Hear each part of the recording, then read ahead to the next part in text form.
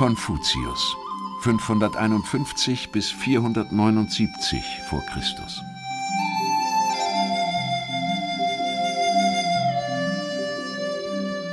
Konfuzius, auch Kongfuze genannt, wird 551 vor Christus im chinesischen Fürstentum Lu im heutigen Shandong geboren.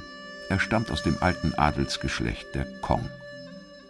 Die Zeit, in die Konfuzius hineingeboren wird, ist sehr unruhig. Der chinesische Feudalstaat zerfällt allmählich und die Großgrundbesitzer machen sich politisch selbstständig. Sie konkurrieren untereinander und dezimieren sich in einer langen Reihe von Schlachten, bis nur noch ein einziger Staat übrig bleibt, der Staat Qin, der die Grundlage für das spätere Kaiserreich legt und von dem sich der westliche Name China ableitet. Im Alter von drei Jahren verliert Konfuzius seinen Vater und wird von seiner jungen Mutter in ärmlichen Verhältnissen aufgezogen. Er sagt später über sich selbst In meiner Jugend war ich von niederer Stellung, weshalb ich mich in vielen Dingen auskenne. Zunächst wird Konfuzius in verschiedenen handwerklichen Tätigkeiten ausgebildet. Ab seinem 15. Lebensjahr hat er die Möglichkeit, in Adelsschulen die sogenannten Sechs Künste zu erlernen: Tanz, Musik, Bogenschießen, Wagenlenken, Schreiben und Rechnen. Der Junge ist sehr begabt, strebsam und fleißig und eignet sich die sechs Künste bis zur äußersten Perfektion an. Im Alter von 19 Jahren heiratet Konfuzius, im darauffolgenden Jahr kommt sein Sohn Li zur Welt. Über seine später geborene Tochter ist kaum etwas bekannt. Den Lebensunterhalt für seine Familie bestreitet er zunächst durch die Ausübung niederer Ämter, etwa als Aufseher in den öffentlichen Getreidespeichern. Diese Arbeit füllt ihn aber nicht aus. Nichts von seinem enormen Wissen, das er sich während seiner Schulzeit angeeignet hatte, kommt hier zum Einsatz. Deshalb gründet der 21-jährige Konfuzius 530 vor Christus seine eigene Schule, in der er seine Schüler Musik und Dichtung, vor allem aber die ehrwürdigen Riten und die Geschichte der Könige nach dem Shu Jing, dem überlieferten Buch der Urkunden, lehrt. Bei der Auswahl seiner Zöglinge kommt es ihm nicht auf die Herkunft an. Viel wichtiger sind ihm Lernbereitschaft, Ehrgeiz und Fleiß. Wenn man eine Erziehung genießt, dann zählt die Standesherkunft nicht, gilt als einer seiner wichtigsten Leitsätze. Und der Erfolg gibt ihm recht. Über 3000 Schüler werden im Laufe der Jahre von Konfuzius unterrichtet. 72 davon erreichen wie er selbst den Grad der absoluten Perfektion bei der Ausübung der sechs Künste. Konfuzius bildet den größten Teil seiner Schüler zu Hofbeamten aus. Diese müssen nach Ansicht ihres Lehrers loyal und integer sein. Sie dürfen ihre zukünftigen Herren nicht hintergehen, müssen sie aber kritisieren, wenn es nötig ist. Für einen unmoralischen Herrscher zu arbeiten, ist für Konfuzius unvorstellbar. Ein großer Beamter, sagt er, dient dem Fürsten gemäß dem wahren Weg.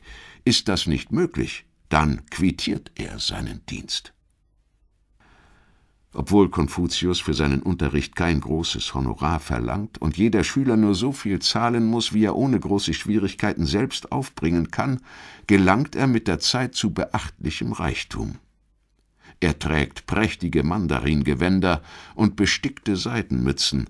Von seiner früheren Armut ist nichts mehr zu spüren. Für die Natur und ihre Zusammenhänge interessiert sich Konfuzius nicht. Sein Fokus liegt vor allem auf der sozialen Welt, auf der Gesellschaft und ihren Verhaltensmustern. Die Menschenkenntnis, die sich Konfuzius im Lauf der Jahre aneignet, lässt ihn zu erstaunlichen Einsichten und Lebensweisheiten kommen. Ein Edler hat drei Tabus. In der Jugend, wenn die Lebenskraft noch nicht gefestigt ist, liegt das Tabu im Geschlechtstrieb. Wenn er dann erwachsen ist und die Lebenskraft sich stabilisiert hat, liegt das Tabu im Machttrieb, und im Alter, wenn die Lebenskraft schon zerfallen ist, liegt das Tabu in der Habgier. Doch mit der Vermittlung des richtigen Berufsethos begnügt sich der Meister nicht. Oberstes Lernziel, vor allem für Schüler, die keine offizielle Stelle antreten wollen, ist die Ausbildung zum moralisch einwandfreien Menschen, zum sogenannten Edlen, fähig zur Solidarität und zur Kritik. Selbst dem Lehrer gegenüber darf er nicht zurückhaltend sein. Konfuzius freut sich, wenn seine Schüler auch mal an ihm einen Fehler entdecken. Er hält an den Überlieferungen und alten Traditionen fest, und fühlt sich vom Himmel selbst dazu berufen, die alte chinesische Kultur vor dem Untergang zu retten. So kommt es auch, dass er seine Mutter, die 518 vor Christus stirbt, mit ungewöhnlicher ritueller Hingabe bestattet. Wegen der Erziehung zweier junger Adeliger reist Konfuzius ins Fürstentum der Zhou genauer gesagt nach Luoyang, um dort auch seine Studien der Musik und der alten Riten zu vervollkommnen. Am Fürstenhof arbeitet er zunächst als Schreiber. Angeblich kommt es zu einer denkwürdigen Begegnung mit Lautze, der als Bibliothekar angestellt ist. Die Gründerfigur des sogenannten Daoismus, also der Lehre vom Weg der Wahrheit, kritisiert die zentrale Lehre des Konfuzius von Maß und Mitte sowie seine praktischen Weltverbesserungsabsichten durch Erneuerung bzw. Wiederbelebung der alten Traditionen. Die Menschen, von denen ihr redet, höhnt Lautze, sind mitsamt ihrer Knochen längst vermodert, nur ihre Worte sind noch erhalten und zum Abschied gibt ihm Lautze die Warnung mit auf den Weg, wenn ein Mensch von Intelligenz und Durchblick an den Rand des Todes gerät, dann deshalb, weil er gern mit anderen richtet, und wenn ein Mensch mit Redegabe und Bildung in Gefahr gerät, dann deshalb, weil er die Übel anderer offenlegt. Als Sohn und Untertan sollte man sich nicht aufspielen.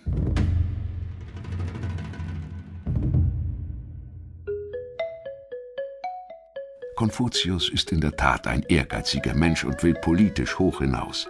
Ob ihm das wirklich gelungen ist, kann nicht eindeutig belegt werden. Man nimmt an, dass seine Karriere eher glücklos verlaufen ist. Aber sein eigentlicher Einfluss auf die damalige Zeit geht auch nicht auf seine Stellung im Staat zurück, sondern auf die Anziehungskraft seiner Lehre. Nach langen Reisen durch große Teile des damaligen China kehrt Konfuzius in seine Heimat zurück. Dort hatte sein Fürst seit längerem Streit mit verschiedenen Adelsclans und musste 516 vor Christus in den Nachbarstaat Qi fliehen. Als gehorsamer Untertan folgt Konfuzius ihm in die Verbannung. Da das öffentliche Arbeiten nun nicht mehr möglich ist, kümmert er sich um die Aufarbeitung alter Urkunden und Zeugnisse Wahrscheinlich nach dem Tod des Fürsten im Jahre 509 vor Christus kehrt Konfuzius nach Lu zurück, um ab 501 zunächst Stadtgouverneur von Zhongdu, schließlich sogar ab 498 Justizminister des Landes zu werden.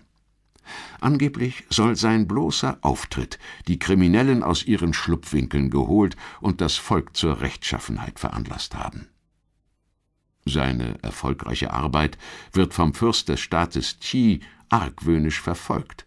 Voller Neid über das Aufblühen des Staates Lu schenkt er dem Fürsten von Lu eine Truppe von achtzig sanges- und tanzkundigen Mädchen sowie mehrere schöne Pferde, alles, damit der das Leben genieße. Insgeheim hoffte er, er würde dadurch von den Grundsätzen des Konfuzianismus ablassen. Und die List wirkt. Die Schönheiten nehmen den Hof so sehr in Beschlag, dass keine Zeit mehr für die Politik bleibt. Enttäuscht tritt Konfuzius zurück und verlässt sein Heimatland, um ein dreizehn Jahre dauerndes Wanderleben in Begleitung einiger Schüler zu beginnen. Von 497 bis 484 vor Christus bereist er zahlreiche Staaten des politisch zersplitterten China. Immer wieder wird er an den Höfen empfangen, findet aber nur wenig Anerkennung. Konfuzius durchwanderte die Welt und nirgendwo hielt es ihn, kommentiert ein chinesischer Philosoph diese Zeit fast 500 Jahre später. Nicht, dass sein geniales Talent nicht in Erscheinung getreten wäre, seine Lehre war zu erhaben und nur schwer in die Praxis umzusetzen. Keiner konnte mit ihm etwas anfangen so glich er einem großen Baum auf einem Berg.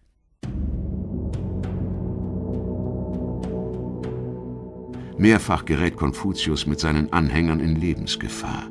In Kuang fällt er beinahe einer Verwechslung zum Opfer. In Song verübt ein Adliger, dessen jüngerer Bruder einer von Konfuzius Jüngern ist, einen Mordanschlag auf ihn. Die Art des Anschlags erscheint jedoch etwas kurios. Der Adlige fällt den Baum, unter dem Konfuzius und seine Jünger sitzen. Kein Wunder, dass der Mordversuch misslingt. Im Süden Chinas gerät Konfuzius 489 vor Christus in kriegerische Auseinandersetzungen und verhungert fast.